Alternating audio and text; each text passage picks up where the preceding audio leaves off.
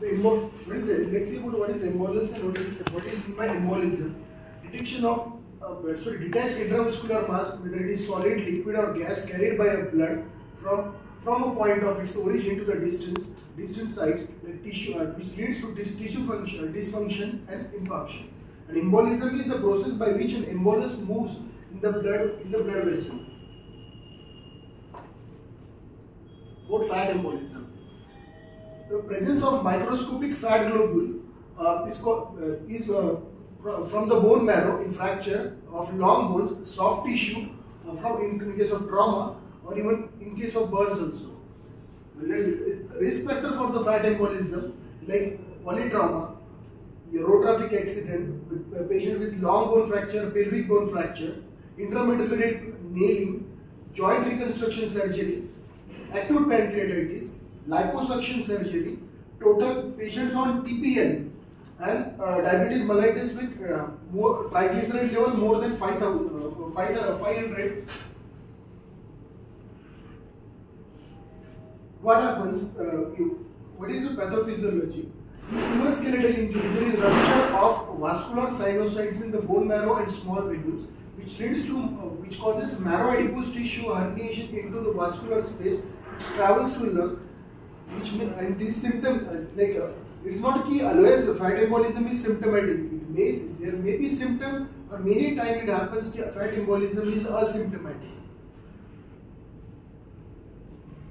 incidence of fat embolism is 90% but it is asymptomatic many times it's asymptomatic and but uh, that of fat embolism syndrome is it is 0.3% pathogenesis like in in this uh, fat embolism we get uh, there is the, there is mechanical and biochemical uh, uh, way in which the patient get the patient with the symptoms or the injury occurs like in mechanical the fat micro microemboli and uh, RBC and platelet fat micro uh, fat microemboli RBC and platelet aggregation which occludes the pulmonary and cerebral vascular vasculature and causes pulmonary and CNS manifestation. In case of and the biochemical way is the release of free the free release of free fatty acid from the fat globule, which causes uh, which is toxic to endothelium, which leads to the active pla- like uh, coagulate activate activation of platelet and granulocyte re- causes granulocyte recruitment.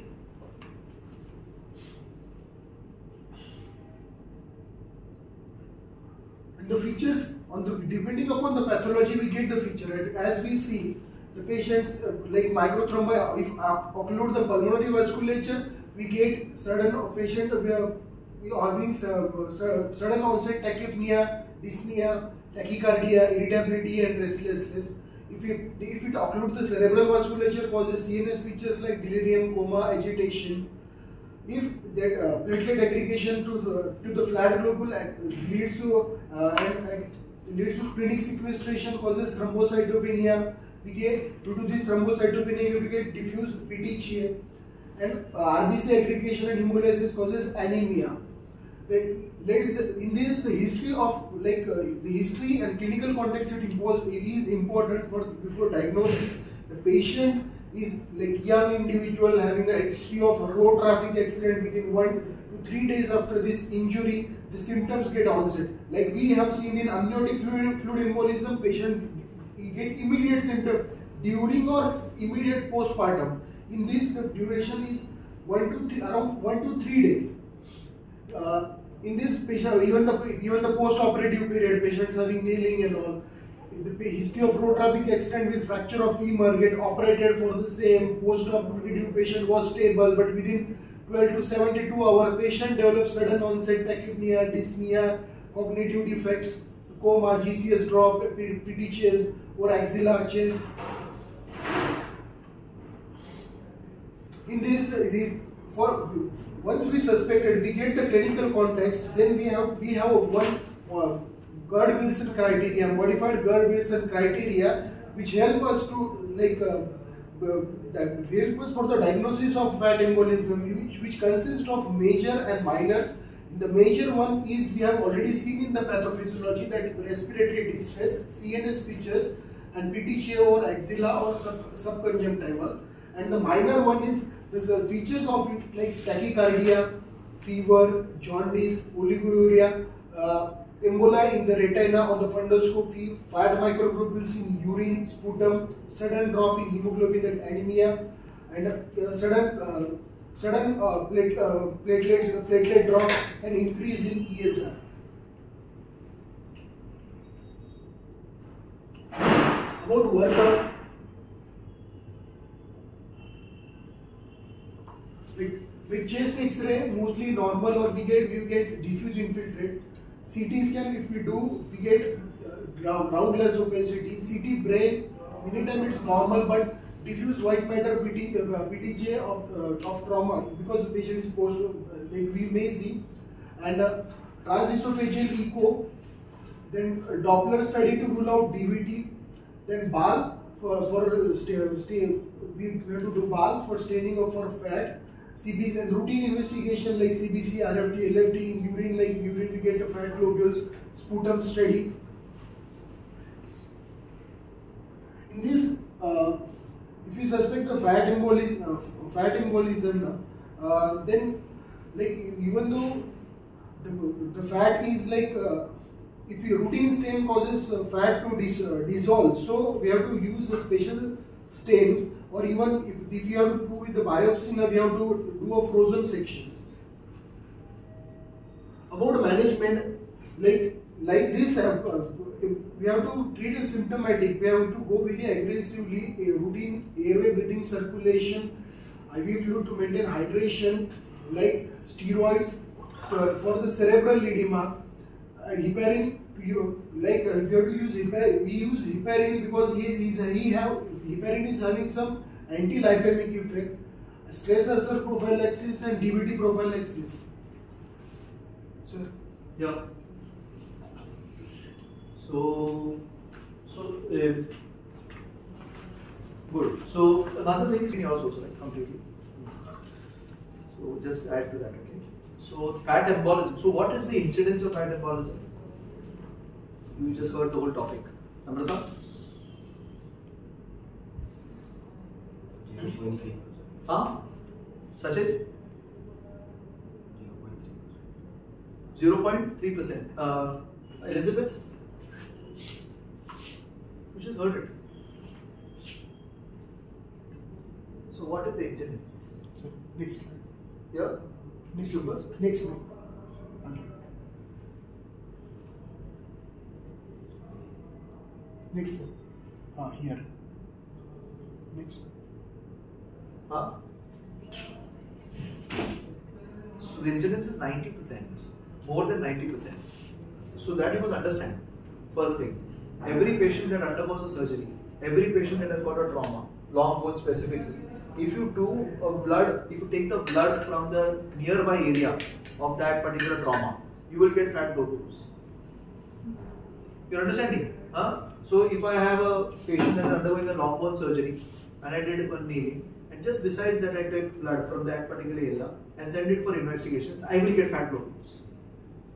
So fat embolism is near about 100% that uh, is the incidence. However, the syndrome is not 100%. Understanding? That is what you must understand that fat embolism has got a very high fat embolism has got a very high incidence. Okay, very high incidence. Almost to the tune of more 100%. Okay, in long bone surgeries and things like that. However, the syndrome is far rarer, which comes to somewhere around say 10%, 5 to 10, 1 to 10%, various various uh, kind of studies. Okay, the syndrome is different. So, if I if I call you here and put up three points, that you'll say, okay, this is fat model. Put three points. Okay, put three points because because uh, you'll be dealing with so many of these cases that you must understand that uh, what it is. So there has to be three, like how you say, cardinal features. You said for admitted fluid hypoxia, hypotension, and DIC. Do you think that there are three points that come in your mind when you look at fat embolism? Right now, right now, Write three points what you feel. Okay, three points, and uh, next to go is uh, Ashok. Come, stand away. Huh? Hypoxia.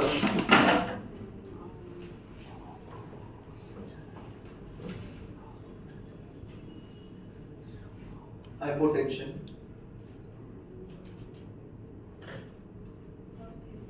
You write down, write down, write down, write down.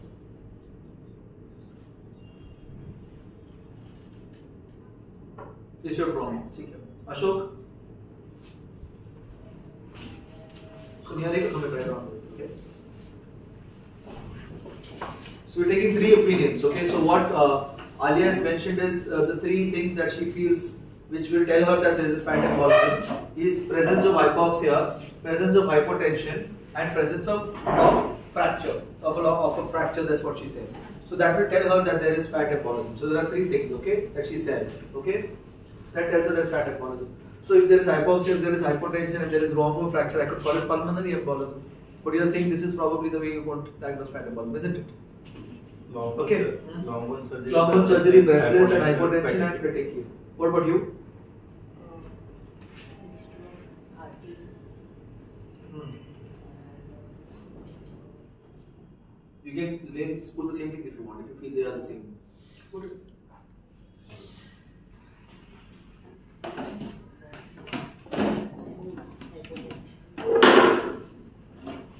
Okay. So what is missing here, Hemant? What is, what is missing?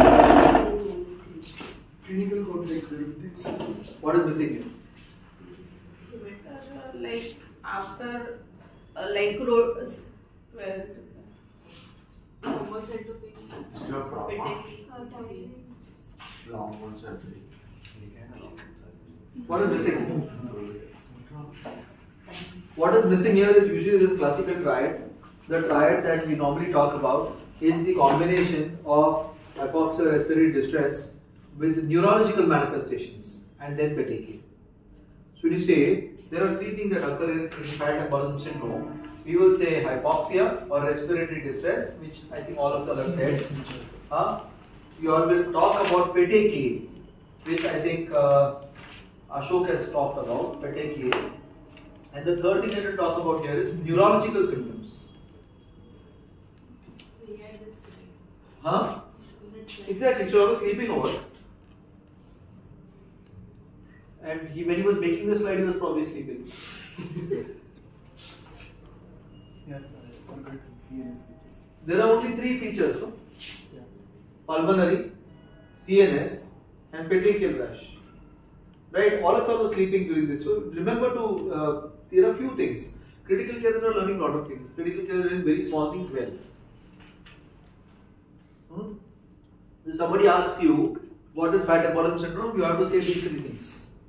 You have to say that there is respiratory insufficiency. It's very different. Huh? You don't have something like this anywhere else.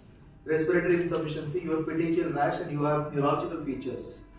Okay, in fact, it is the neurology that is first seen in fat embolism syndrome. The first thing that normally see in, fact, 60 to 70 percent cases is agitation. Is agitation or drowsiness or, or some neurological abnormality or an altered mental status that occurs when you when you see fat embolism syndrome. Clear? Hmm? And importantly, this uh, let's come to before we get into the further features of this. Let's understand why this occurs. So we did mention why it occurs. Why does it occur? One second. Um, Abhijit, why does it occur? During the during surgery, nailing or aiming vigorously. It's a So- embolus or. So that was the mechanical theory. What is the mechanical theory? Again, say it Yes, again. uh, during surgery, long bone surgeries, uh, during uh, reaming or uh, So only during reaming or nailing the nailing. It's not like that. So, just like in uh, what was the mechanical theory for amniotic fluid embolism? We said that the pressure inside the amniotic fluid becomes higher, the venous pressure reduces, and hence mechanically mm-hmm. amniotic fluid goes from here to here. Right? This is what we thought. It is transgressing from amniotic fluid placenta into the capillaries.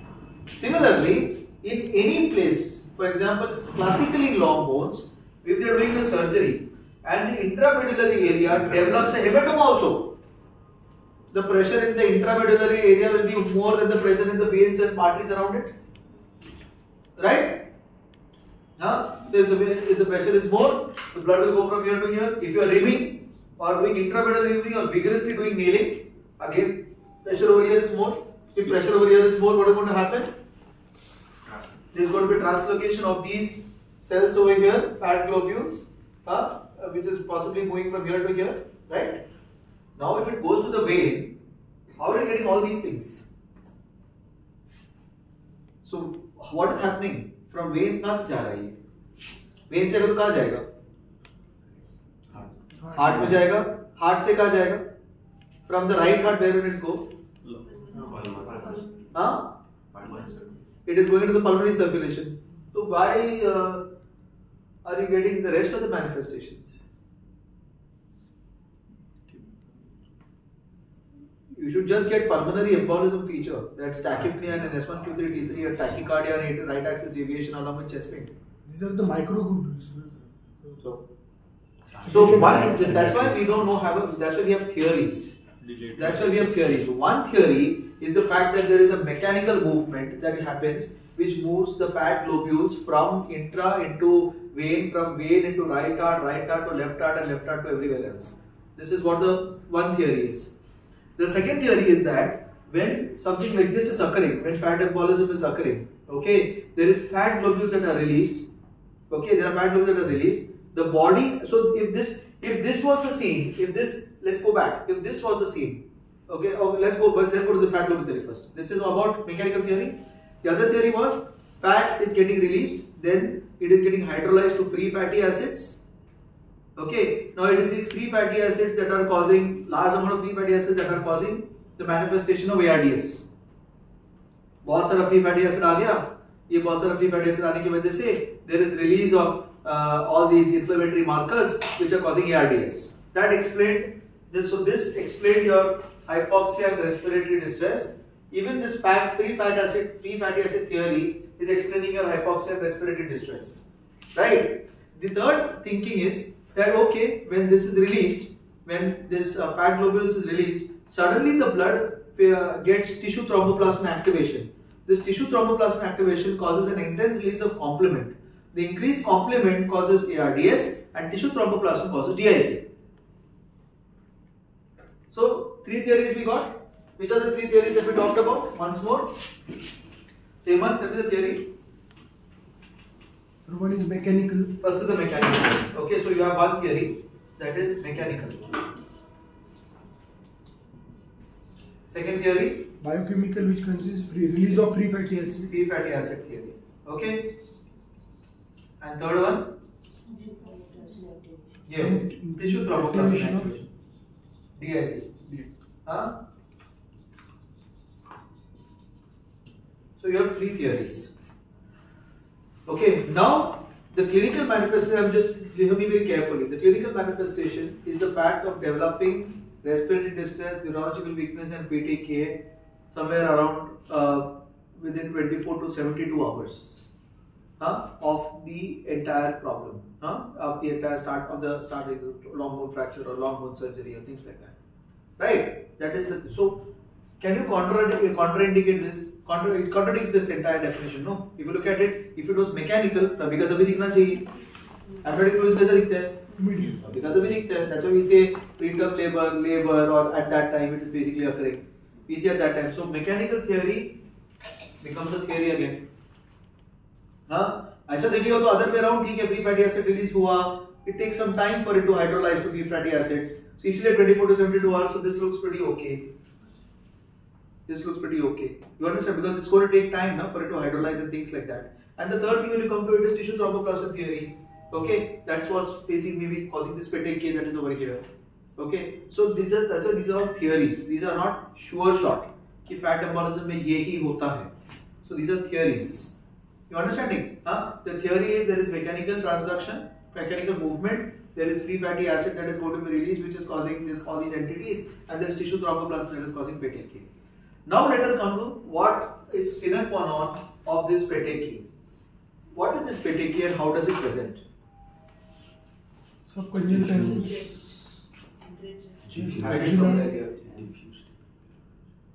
You Next. Yes. Huh. Where is the petechiae? Read it carefully. Word of letter.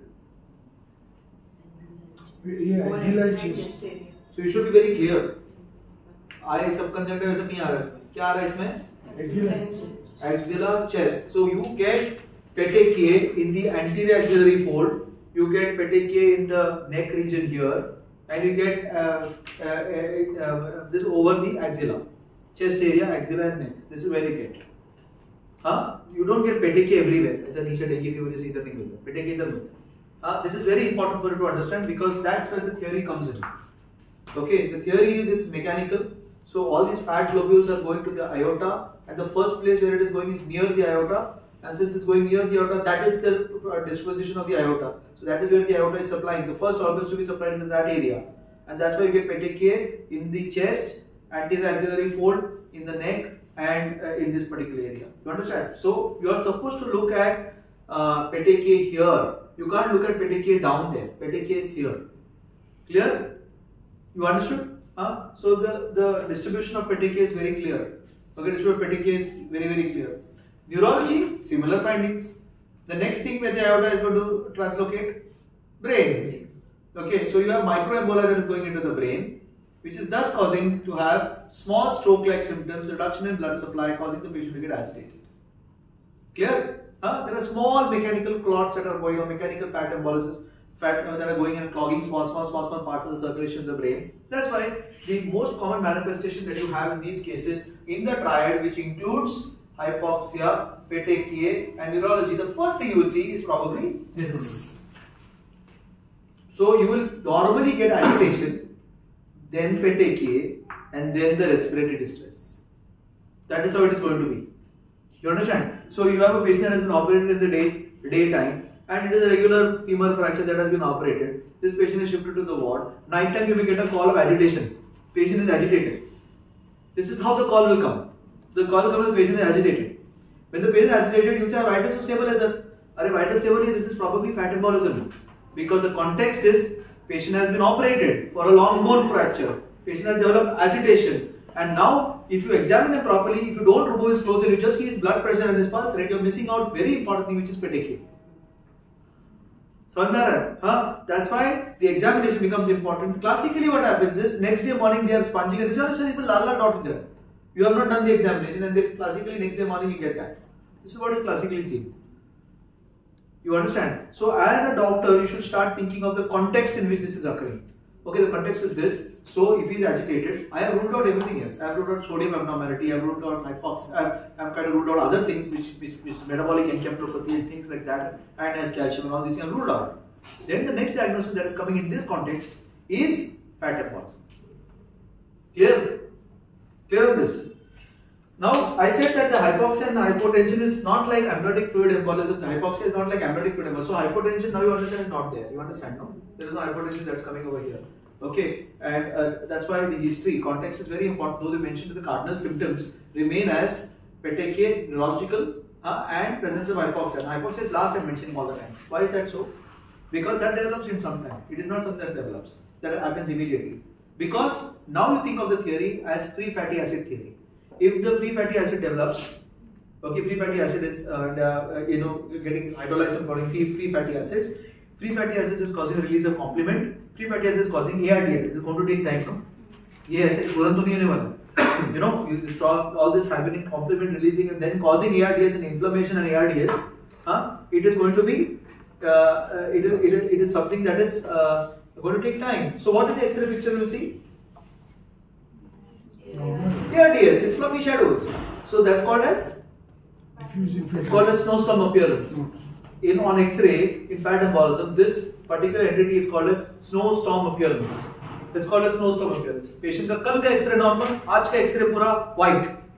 Yesterday's X-ray was normal. Today's X-ray is all white, white, white, white. Snowstorm appearance. So when fat, fat embolism occurs, what you are seeing over there in the X-ray, the reason of the hypoxia is ARDS, which is classically called as the snowstorm appearance. Snowstorm appearance. Classically called as snowstorm appearance. Clear? Clear? So now we understood how to diagnose, how to clinically diagnose this patient. Huh? Any doubts on the clinical diagnosis yet? So why there is no hypotension? नहीं है sepsis नहीं है DIC है खाली DIC is not equal to hypertension you understand they may develop There is hypertension no- Emboli. There is no block at the pulmonary. that's what we are saying here this theory is not completely right no that's why we have three theories why there is no hypertension many people don't have hypertension that's why this theory is not right. You understand? That's why there are three theories. You understand? That's why there are three theories that act- actually there are uh, that why there, this is the question that uh, patient should have hypertension why do have hypertension I, because that is not the right theory. They might be that's why they are theories. They are not the right thing. You understand? That's why they are theories. That's why we have put these theories in place. So many things can, many things can be said uh, about each of these things basically. Okay? Uh, you understand what i'm saying? That's why there are these are the theories but what you see as manifestations are renal are respiratory and there is petechial rash. That's why he had mentioned there is clearly uh, uh, uh, not renal, sorry, pulmonary, CNS, uh, cerebral, and diffuse pet- uh, petechial rash. Clear? Uh, the thing is, these uh, globules go into the heart, and we're saying microglobuli go into the brain. So these microglobuli can also go into the lungs. It can. The start. That's the theory. So what you're saying is all theory. That's what the theory is. But since it doesn't do that way, that's why the theory is not right all the time. Are you understanding? It's just a theory. It can do this, it can do that, it can. We don't know. The answer is we don't know. You're understanding? That's why we put theories, no? Since we don't know how it really is occurring, like what he said, I can do this, I can do this. Yes, that's what the mechanical theory says. But this is theory. You understand? This is theoretical that this is can occur, this can also occur, this can also occur, this may not occur, only these may occur, this may not occur, these two may occur, this is occurring, these two may occur. We don't know. We don't know only. You understand? So anything can occur. But at the end of the day, three things will be seen for the syndrome to be diagnosed. You will have petechial rash, you will have cerebral manifestations, and you will have hypoxia. Clear? That's what the Gurd's and the Lindeque's criteria. are. Actually, there are three criteria, four criteria. There is Gurd's, there is Schonfeld, there is Lindeque. There are many criteria that actually goes ahead. If you see, the characteristics of those are the same only. Okay, the characteristics are- will involve these things. You don't have to remember too much. It's this only. The criteria will have. You understand? Huh? So now that you've understood the clinical feature of fat embolism, what will be the laboratory feature?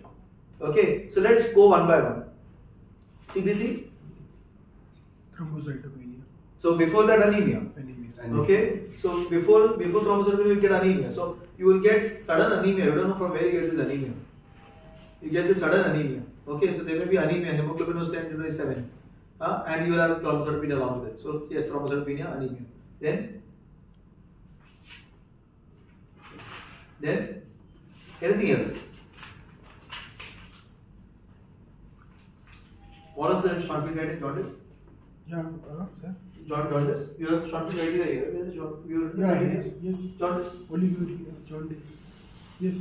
Indirect hemolysis. You get jaundice, indirect Hemolysis. Hemolysis is occurring. So jaundice, huh? Okay, and the rest of the manifestations you may you may do this this this what you're seeing over here, fat microglobules in the eye and all these things. This is called as Purtscher's retinopathy, isn't it? Purtscher's retinopathy. With a lot of things that are there. So that's why you need an eye checkup when you have fat fat embolism syndrome. Okay, so classically this is seen in patients with long bone fractures, pelvis fractures, sternotomies. Sternotomies, okay, remember this sternotomies, fat uh, pelvic fractures, long bone fractures. That is where you probably will see classically these cases. Okay, uh, with all these things, and it can also occur in non-traumatic and non-factor, non-road traffic accidents. For example, in pancreatitis, you can get it in pancreatitis. You know, you can get in simple pancreatitis. You can get uh, fat embolism syndrome.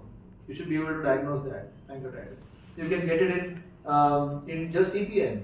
You're giving total parental nutrition. You can get it. You are giving fat there. Fat globule की बात कर रहे हैं हम fat सीधा body के अंदर डाल रहे हैं you understand so they can get fat embolism syndrome which will then look at the FFA you understand just a tpn so there could be non traumatic causes for actually having fat embolism syndrome also it's not always trauma trauma trauma okay they can be non traumatic causes also for fat embolism syndrome right How do you treat it? How do you treat these things?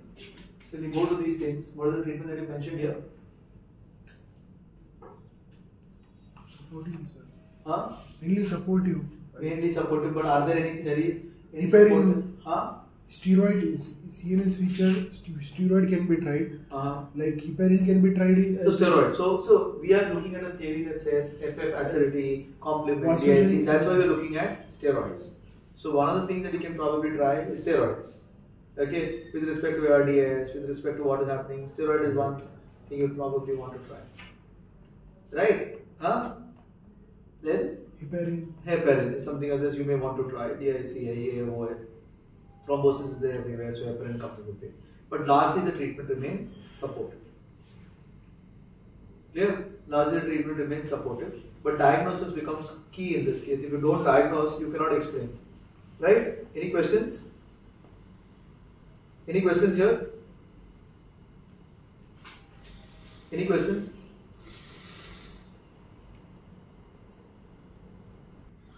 Antilipemic effect. Heparin antilipemic effect.